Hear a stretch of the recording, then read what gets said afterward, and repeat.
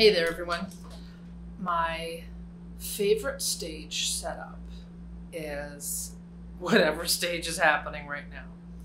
Since we're not playing much together, I'm doing a lot of recording and a lot of overdubbing, getting used to this video format, the lighting, and all of the other specifics that go with what it takes to make music these days. Uh, as you can see in this photo, my favorite microphone and my favorite microphone setup is um, an AEA R92. It's a ribbon, it's a new modern ribbon, and I actually clip on at the in this older setup. I would clip on a um, an AMT microphone that I used for a long time until I discovered the joys of a splitter, and I have a cable now that splits my electronic signal, which was what the clip-on mic was for, and um, the clean signal. So as I use my electronics more and more these days, the simpler the setup, the better. I use guitar pedals. I like old vintage organic sounding pedals that I can manipulate with my feet versus using a computer.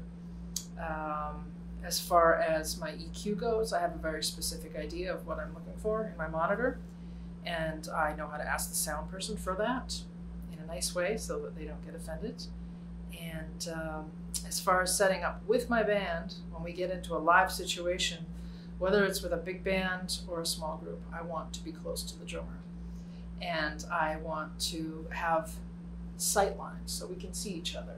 The idea of being a soloist in front, a lot of times I'll come to a gig and they'll put me right in the front, like I'm the soloist. So how am I going to communicate with the band?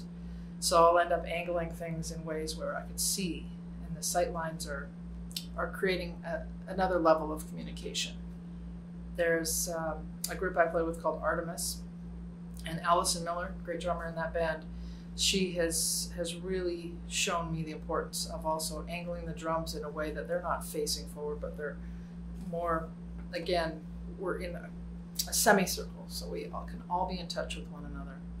This music is live and it's social, and when we get back to normal after all of this, not masking up anymore and not having to be 10 to 15 feet away from each other while we play, I think the level of listening and empathy and the high level of artistry that's going to take place is going to be mind blowing. So work on your favorite setup too. Just make sure you can hear yourself in the mix as much as you can hear the quietest and the loudest player on stage so that no one ends up overplaying and that everyone ends up, as Terri Lyne Carrington says, in the middle listening from the middle of the stage, or from the middle of the room, or from the middle of the universe. Have fun making music. Ingrid Jensen.